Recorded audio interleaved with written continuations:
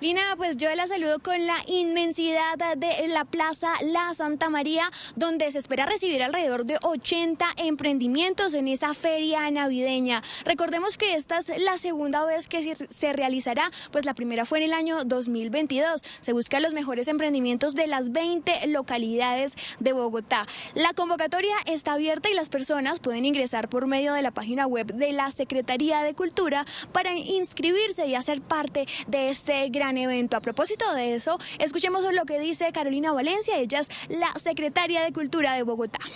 Lo que habrá en esta feria será emprendedores de escultura local, eh, también eh, eh, de, digamos, emprendedores de hecho en Bogotá y de las convocatorias públicas que sacamos para que participen en esta feria.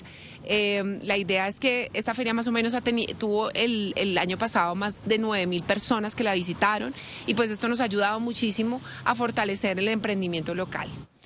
Y ustedes entonces ya saben que Bogotá desde ya se prepara para celebrar la Navidad, pero no solo aquí con la gran feria de emprendimiento que se llevará a cabo, sino también con la elección del director de arte que creará toda una escenografía para celebrar la Navidad del 2023 y hoy se publicará quién será esa persona elegida. Con estas imágenes de la Plaza La Santa María los dejamos. Sigan ustedes con más en las City Noticias del Mediodía. Si esta noticia le interesó o quiere conocer más, no olvide suscribirse en nuestro canal de YouTube que es gratis, visitar eltiempo.com o seguirnos en nuestras redes sociales.